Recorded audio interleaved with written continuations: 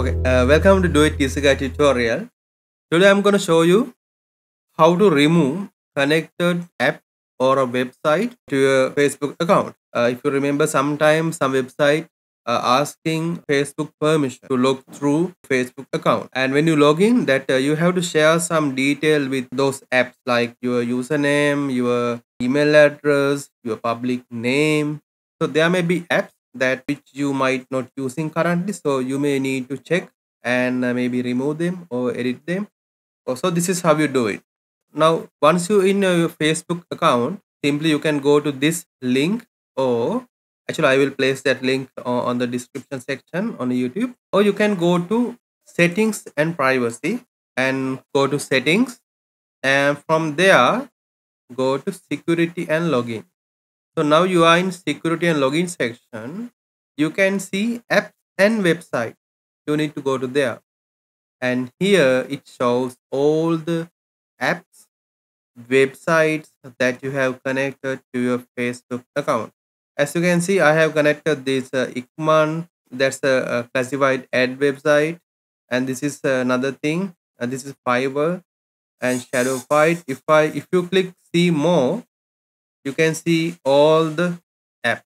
And you can see the date that you have added. Now these are very old 2012 now if i want to let's say if i want to uh, remove let's say this uh, typey monster thing so just click remove and asking our confirmation.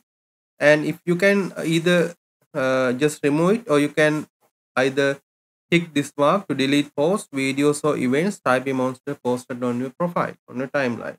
Okay? And I'm gonna tick this and click remove. So then it removed that app. So either way, so again let's remove this one. If you click view and edit, and you can see uh, which information you are sharing with it. Now in this case i am sharing name and profile picture uh, with this application. So i'm gonna remove this one as well. All right uh, that's how you remove any connected app or games.